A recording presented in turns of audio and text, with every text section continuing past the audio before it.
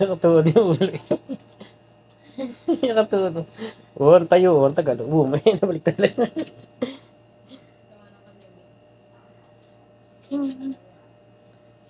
Oh, yung para matutuktukan ng pita.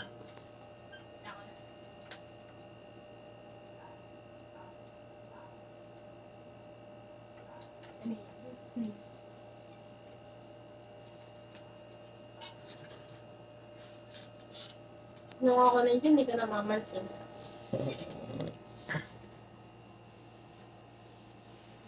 Pata mo kuya. Uli-uli, pero din isa na nakatayin. Hmm. Tapon na yan.